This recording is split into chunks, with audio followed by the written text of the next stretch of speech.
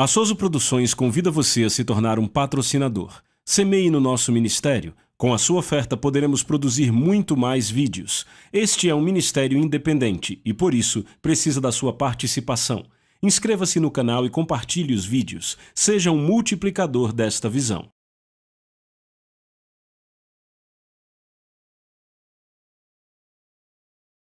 Os versículos usados nos vídeos que traduzimos nem sempre correspondem a versões em português. Muitas vezes precisamos traduzir do original em inglês para fazerem sentido no contexto do vídeo. Bordéis fechados, a polícia com pouco trabalho porque os crimes diminuíram, as vendas de Bíblia dispararam por todo o país. Essa é a história de Evan Roberts, líder do avivamento de Gales. Eu sou Robert Lardon, esses são os Generais de Deus. Os Generais de Deus, com Robert Lardon.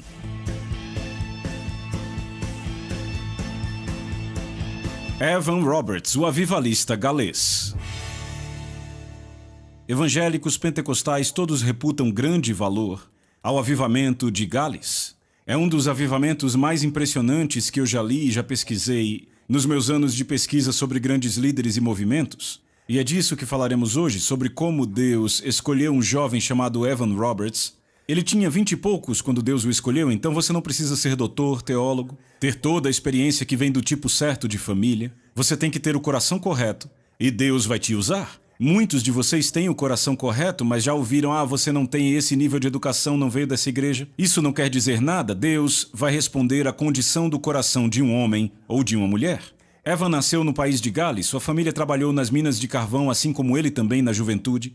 Ele era conhecido por como entrava nas minas. Naquela época não havia leis contra trabalho infantil, então crianças e adolescentes trabalhavam como adultos nas minas. Então ele levava sua Bíblia consigo para dentro das minas e durante o seu intervalo, ele lia as escrituras, durante o almoço lia as escrituras, e ele fazia um pequeno buraco na parede da mina e às vezes deixava sua Bíblia ali. Uma vez houve uma explosão e a explosão queimou algumas páginas da Bíblia e essa Bíblia se tornou famosa, usada por toda a vida dele durante todo o avivamento que aconteceu. Então, falar da vida do Evan Roberts é muito interessante. A família dele era cristã, então eles cresceram ensinando histórias bíblicas, indo para a igreja, mas Evan Roberts deu um passo além.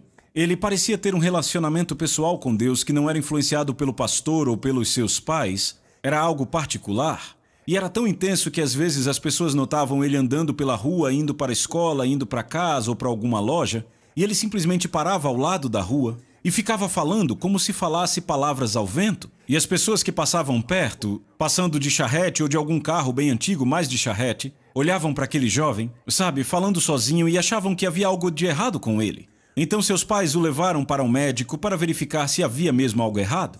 E o médico disse que Evan Roberts tinha uma fixação religiosa e que com o tempo aquilo ia passar. Bem, eu não acho que a fixação religiosa dele parou em algum momento, só cresceu e cresceu e cresceu. E eu não acho que deveriam achar que era um problema um jovem parar e ficar falando com Deus. Um jovem que fala com Deus não vai ficar falando com as pessoas erradas. Então Evan Roberts também era um jovem que influenciava seus amigos. E quando você estuda a vida deles, especialmente os primeiros anos, é importante considerar suas amizades. Todos nós somos influenciados pelas pessoas com quem andamos, com quem falamos, a quem nós fazemos nossas perguntas, pelas reações às nossas conversas e também pelas atividades. Evan Roberts era alguém que, se você não encontrasse em casa ou se não encontrasse na escola, você poderia encontrá-lo praticando esporte com os amigos, mas mais provavelmente você o encontraria na igreja, na Capela Moriá, sua igreja local na cidade. Então ele estava numa reunião de avivamento e um dos seus amigos foi com ele participar desta reunião, e era o momento de eles orarem. Então todos ficavam de joelhos perto do banco onde estavam, alguns caminhavam para a frente da igreja, o culto estava chegando ao final. Naquela época as pessoas eram chamadas ao altar para orar e era assim que terminavam os cultos. Hoje nós terminamos com uma música alegre, damos um grito de louvor e terminamos o culto. Naquela época terminavam o culto com uma oração. E Evan Roberts se ajoelhou e o Espírito de Deus veio sobre ele, falou com ele e lhe mostrou que estava vindo um grande avivamento para o país de Gales e ele seria parte daquele grande avivamento.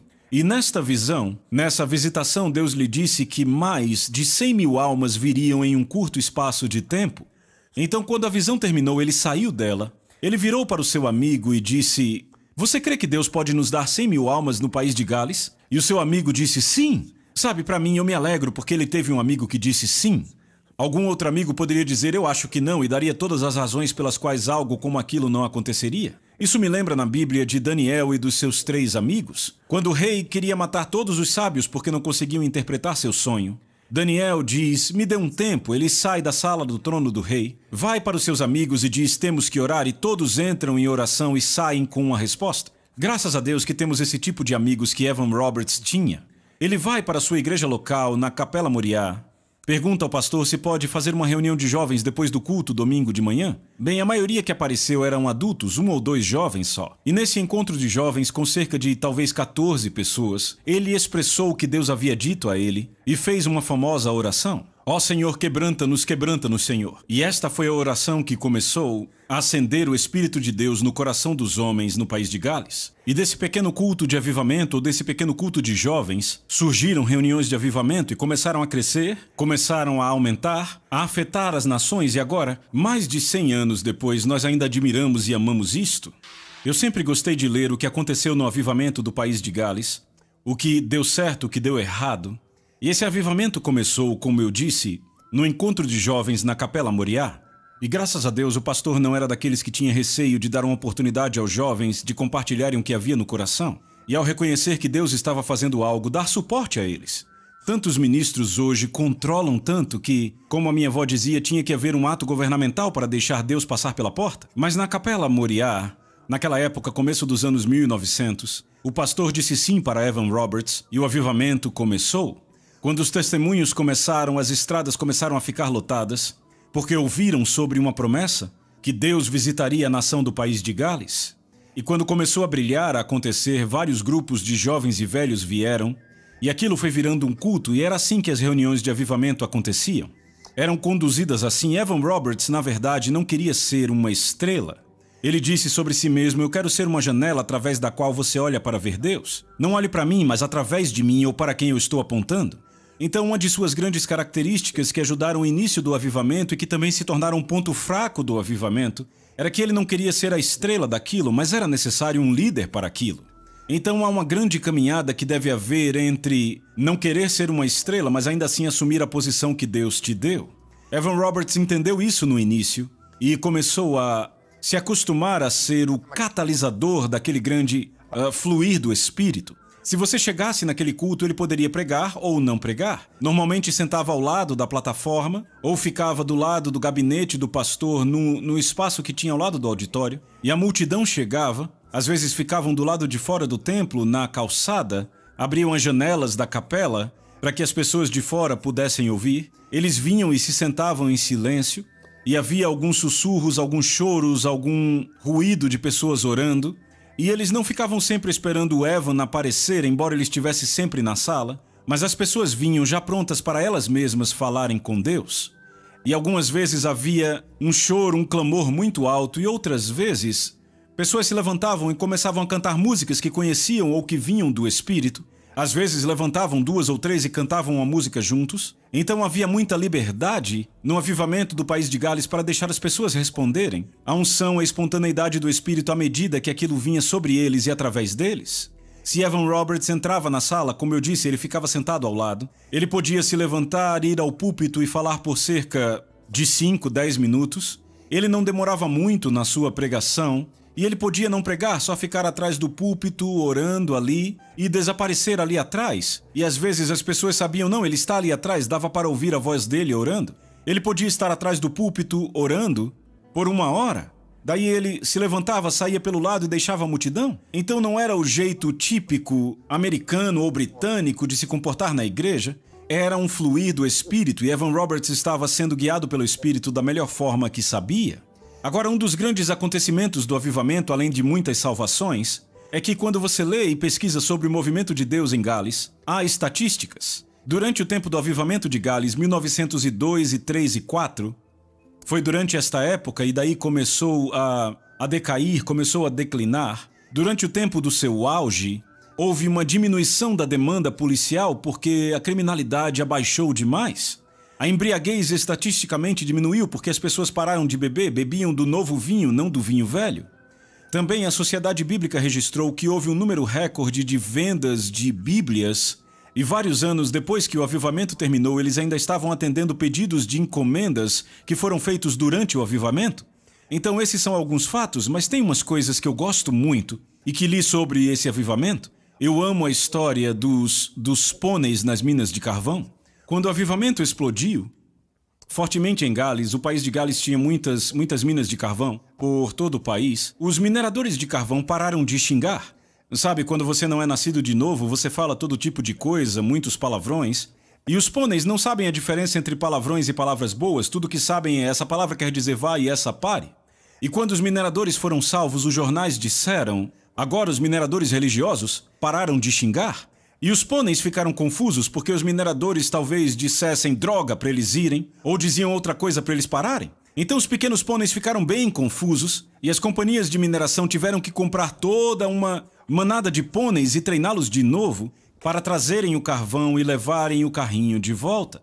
Para mim, sabe, isso é emocionante saber que o avivamento afetou os pôneis e eles não sabiam o que fazer porque os mineradores pararam de xingar. Outra coisa que eu achei muito intrigante sobre o avivamento de Gales foi que durante o período, como todo ano, toda nação tem, sabe, temos eventos esportivos. Na América, World Series de beisebol, Super Bowl de futebol. Na América chamamos de soccer, mas na Europa chamam de futebol. Então, no país de Gales, durante a época do avivamento, uh, eles tiveram um tradicional campeonato de futebol da nação. Podemos ver em 1901 quem venceu o campeonato, quem venceu o torneio. E quando você chega no ano do avivamento, no lugar onde deveria vir o nome do time vencedor, está escrito avivamento. Não houve torneio porque todo mundo estava indo à igreja, tendo uma experiência espiritual. Então, na América, é como dizer que nós não tivemos o Super Bowl porque todo mundo foi para a igreja, estavam mais interessados em Deus, no estado da sua alma, do que no Super Bowl. Isto seria um grande evento. Outro grande feito do avivamento de Gales foi que o horário de funcionamento do comércio mudou. Quando ninguém está comprando, por que deixar a loja aberta? Quando ninguém está indo ao restaurante, por que deixá-lo aberto?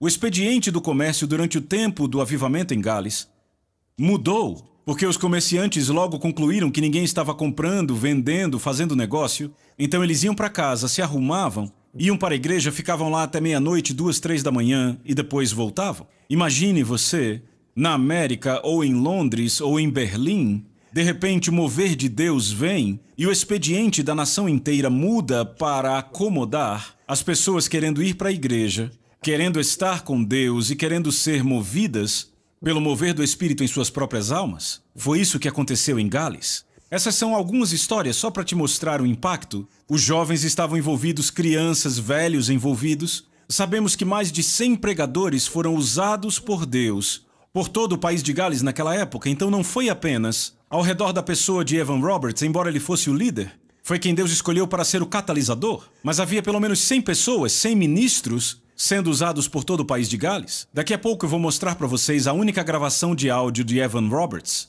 É um pedaço raro da história da igreja, eu me alegro por ter encontrado. Estava quase perdido pelo desgaste do tempo, mas foi reconstruído, consertamos. E daqui a pouco eu vou te mostrar o avivalista de Gales falando na época do avivamento. E eu também quero falar sobre a tragédia desse grande avivamento. Esse avivamento só durou alguns anos e declinou. O que aconteceu com o avivalista? Por que declinou? O que aprendemos disso? Eu vou te contar. Toda vez que as pessoas falam de Evan Roberts, do avivamento do país de Gales, elas falam da parte boa do que deu certo e eu gosto de falar disso também. Mas para trazer a história completa é preciso falar do resto dela. Por isso que às vezes as pessoas não entendem por que avivamentos podem terminar de forma estranha, não investigamos esta parte. Logo que eu li sobre Evan Roberts, eu disse: Uau! Um homem de vinte e poucos anos que abalou uma nação, enormes multidões, pessoas sendo salvas, expedientes sendo alterados, venda de Bíblias aumentando, policiais demitidos porque a criminalidade baixou. Não houve torneio de futebol porque o avivamento aconteceu e o coração das pessoas estava em Deus. Isso é fenomenal.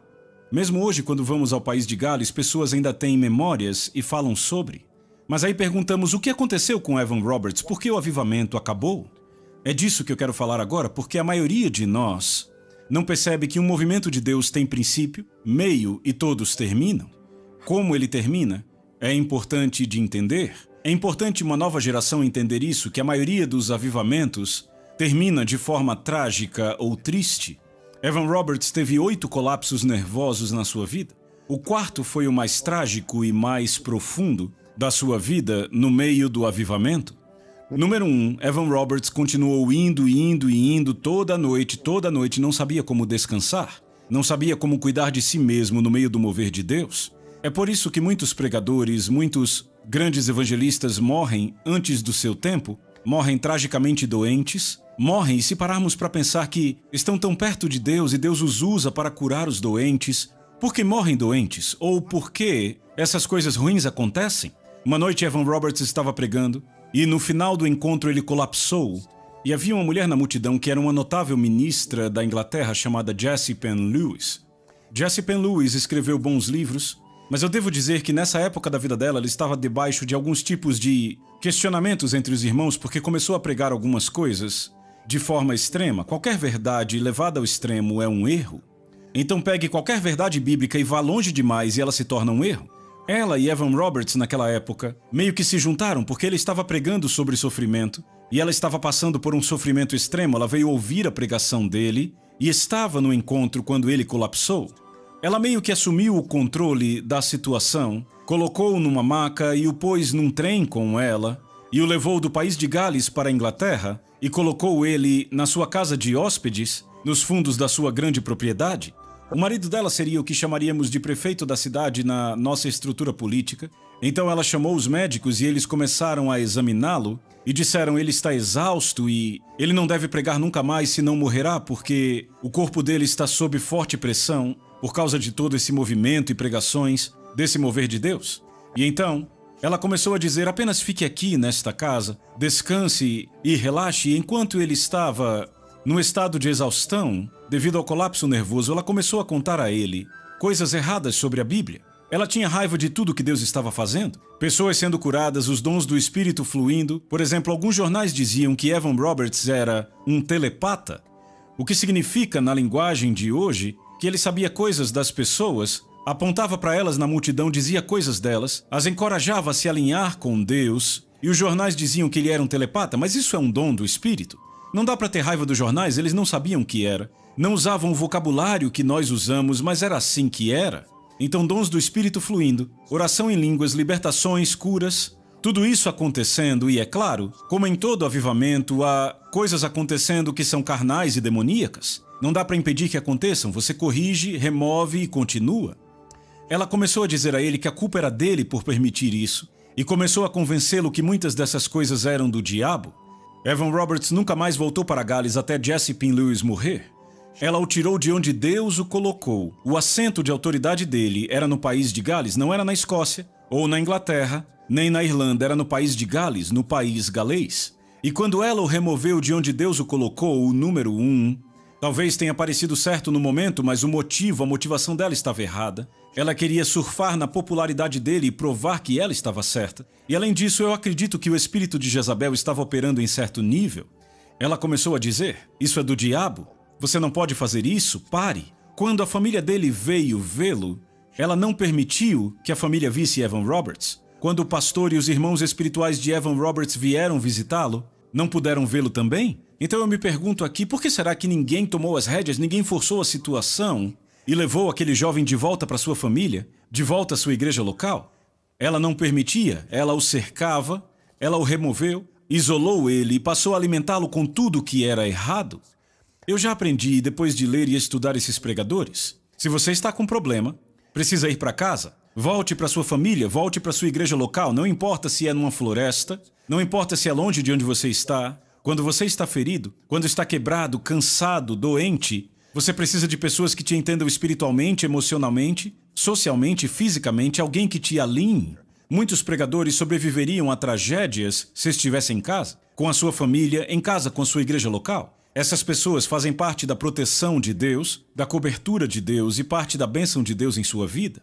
Dê valor a isto. Se você está com problemas hoje, vá para casa, volte para sua família, volte para sua família espiritual e permita que os seus conselhos, encorajamento, advertências sejam parte do que vai te alinhar e curar a sua alma, fortalecer seu espírito, para que o zelo volte à sua vida. Se pessoas como Jimmy Tammy Baker do PTL tivessem ido para casa durante a crise buscado alguém, em vez de ir para outra pessoa de fora, a crise do PTL não aconteceria. Então lembre de Evan Roberts do escândalo do PTL. Quando tiver problema, quando estiver exausto com problemas, vá para casa, para sua família biológica e sua família espiritual. Ele não voltou para Gales até Jesse Penn Lewis morrer. Daí ele volta e nunca mais prega. O avivamento de Gales só durou por no máximo três anos, alguns meses a mais. Ele morre em 1951. A última, a última frase no seu diário é: Não sei por que eu nasci. Evan Roberts morreu, foi enterrado em 1951, e os seus últimos pensamentos foram: Por que eu estou aqui? Por que eu nasci? Qual foi o meu propósito? Aquele espírito de Jezabel o removeu do seu lugar de autoridade, do seu lugar de unção, e o convenceu a perder a vida inteira. E ao perder a vida, ele perde o seu chamado, e ele morre sem saber por que nasceu. Eu não quero que isso aconteça com você, nem com ninguém que você conhece. Aprenda com os erros do avivamento galês. Faça o certo. Eu peço que você adquira meu livro. Eu quero que você leia com mais detalhes o que aconteceu, porque eu não consigo falar de tudo aqui. Mas há muitos de vocês que Deus chamou e você está ouvindo uma mentira.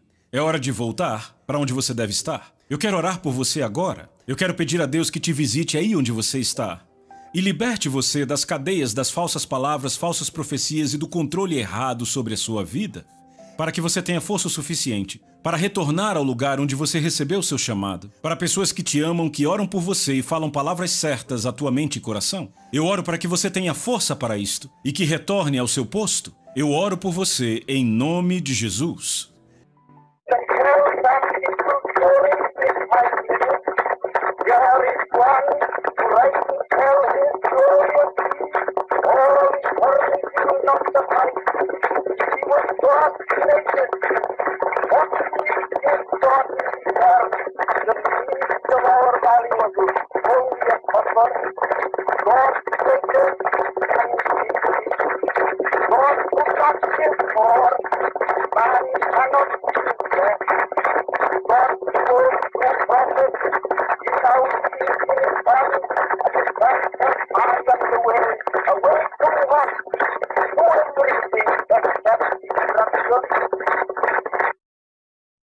O avivamento é uma comunidade saturada por Deus. Duncan Campbell.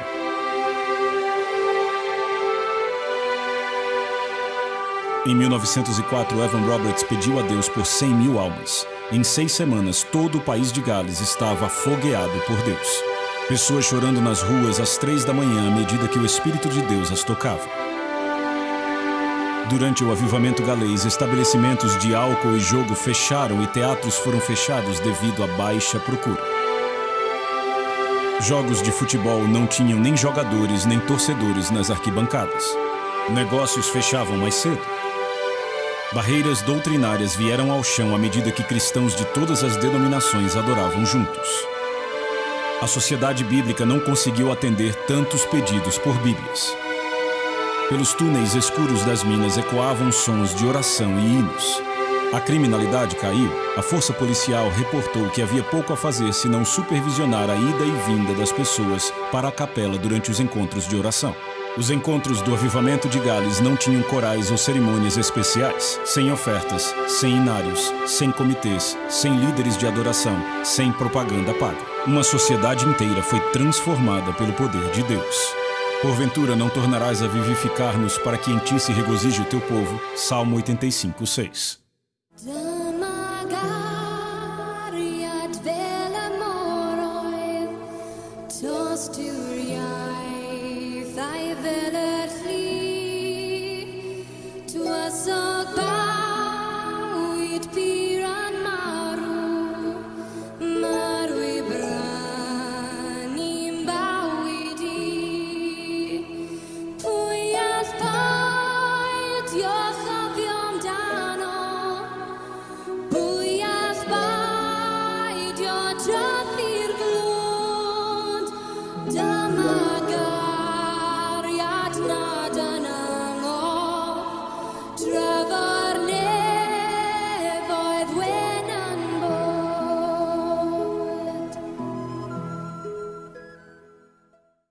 A Souza Produções convida você a se tornar um patrocinador. Semeie no nosso ministério Com a sua oferta, poderemos produzir muito mais vídeos. Este é um ministério independente e, por isso, precisa da sua participação. Inscreva-se no canal e compartilhe os vídeos. Seja um multiplicador desta visão.